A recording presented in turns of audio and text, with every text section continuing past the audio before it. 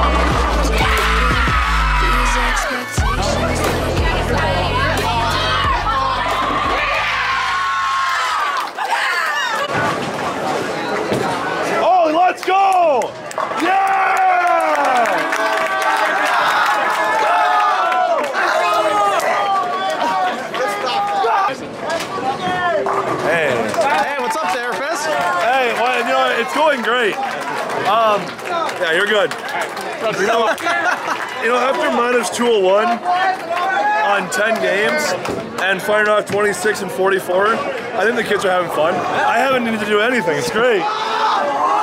You're living. I'm living my greatest You're life. living. You're up to your name. Yeah, I'm living my greatest life. I don't have to tell them anything, and they just get fun and get loud. It's great. Feeling good. Looking good. CAW Blue. Can't beat them. Join them.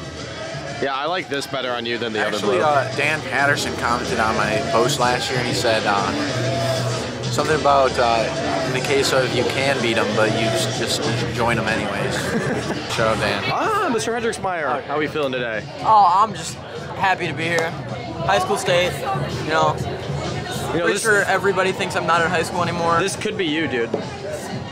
I'm glad it's not. No offense to anybody, just not for me. Um, just happy to be here. That's about all I got. Who do you think's gonna be the number one seed Topher after? Shasinski. Or Shashane. No, hold on. Shane. Shashansky. And what about you, Mr. Vader? By a million. Who's gonna lead? Who's gonna lead? I think that's a simple question. I would say top five, but then you you have to think, look at a list. But I think number the number one. If Topher doesn't say himself, there's a problem. Who do you think's gonna lead? That's you think you think Black's gonna lead? Money Wong. Lead me, la- yeah, lead me yesterday. Are you gonna lead me? No. Okay, we didn't really get an answer, Grant but uh, Raslowitz from Antidote. Of our singles. You probably just missed it, but um, Okay, they're not doing the introductions want for singles. everybody to our 26th annual Wisconsin High School Bowling I'm just gonna let Dick do the work. Singles semifinals round of competition.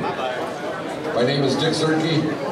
I'm the tournament director of this championship this year. On behalf of the Bowling Center Association of Wisconsin and all our member centers, I want to welcome you to the singles semifinal round where we have 27 boys and 14 girls who who have advanced to compete to determine our top five finalists for the state sir. championship singles finals tomorrow morning starting at 8.30 a.m. We want to thank all our proprietors, all our coaches and out, volunteers who have helped out to make this weekend special. Shout out Timmy. Parents and family members, thank you for supporting these students, athletes, and high school bowling. Bowlers, please take time to thank them. Thanks, Dad. Uh, for the bowlers, see, bags should be in the pantry. So, playing the rest of the day, after you heard uh, Dick's announcements, they did announce the uh, top individuals. They went on the approach conference tradition for high school state. Um, been doing it since I was a freshman, so you know, pretty long time, unfortunately. They're going to and they, they just have about over two and a half minutes. And yeah, this is gonna be good. It's a lot easier. I'm gonna kind of do a little panel. So much easier, way less crowded. This is what I like. Four in a pair. Just makes my job easier. A little biased towards it. Uh, but yeah, looking forward to it. Uh, always, probably the one of my favorite parts on the dance Saturdays is this part. Um, gets the step ladder rolling and creates the stories that are going to be told and finished because people want to finish their story. Yes, here we go. We go. Here we go. Scores are gonna be lower than tonight. They always are. Yep. lots of nerves, lots of pressure. Let's do it. Good luck, good bowling, and as always, have fun. Low scores. Low scores. But keep in mind, spares don't matter, or spares don't win championships. Fill frames matter. Thank you.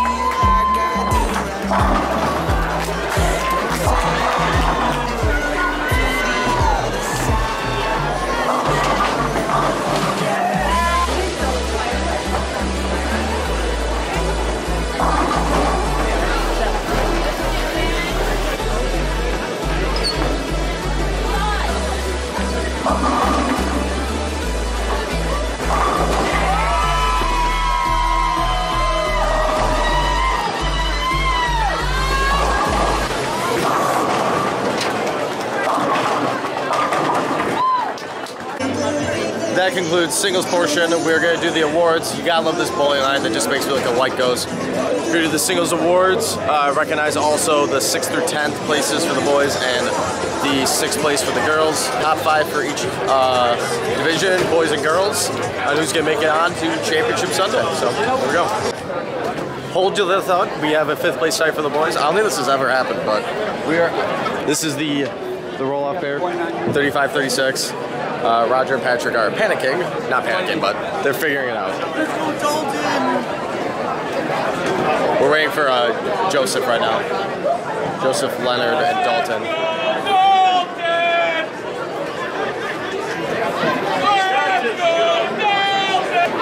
Gentlemen, here. You have no practice. You have no practice.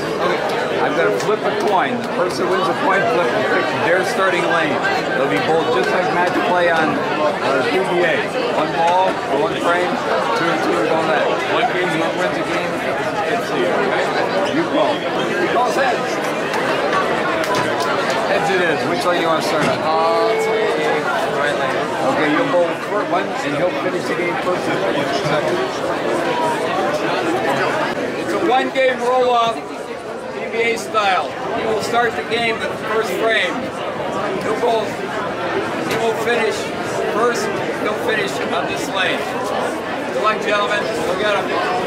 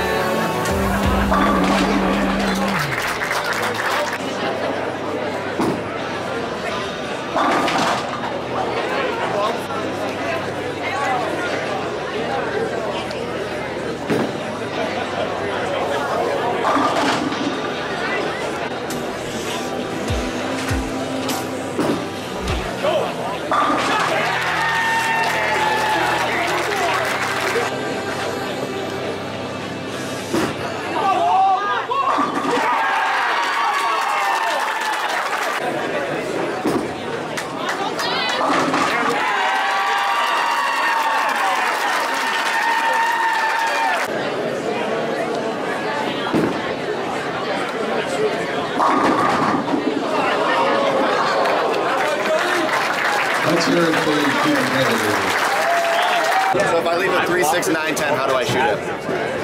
Don't throw straight. Why are you asking me? We're getting these questions going into the, their biggest like moments of their careers, ladies and gentlemen. Um, oh! Oh! Oh! I'm, do, do, do you do that on purpose? That's what. Yeah, that's why he asked me that. Oh! think he asked Oh! me? I didn't even. Oh! I didn't even get the joke right away. Oh! Well, I'm here with uh, state runner-up Lester Carter Westcott going into the the team semifinals. Um, yeah, Carter, how, how's it going, dude? How's it watching state in your hometown? It's fun. It's nice being close because then I can just come here and just hang out. Plus, I have nothing to do. So, walking around, watching all the high school bowlers achieve their dreams is fun to watch. Yeah. Definitely fun to watch. For sure, dude. BCAW is doing a great job at running this. Always do. Always do. Especially volunteers like this guy.